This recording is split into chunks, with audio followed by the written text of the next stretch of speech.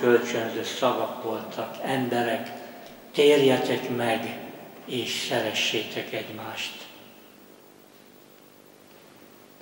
Attól a Jézustól, aki az utolsó vacsorán nekünk adta önmagát a kenyér és a bor színe alatt, nekünk is meg kell tanulnunk a teljes szeretetet. Amikor szentáldozáshoz járulunk, kell, hogy éljen bennünk az az igény, hogy hasonlóvá váljunk ő hozzá. Ahogy őt a lelkünkbe fogadjuk, úgy tudjuk mi is önmagunkat átadni Istennek és a testvéreinknek.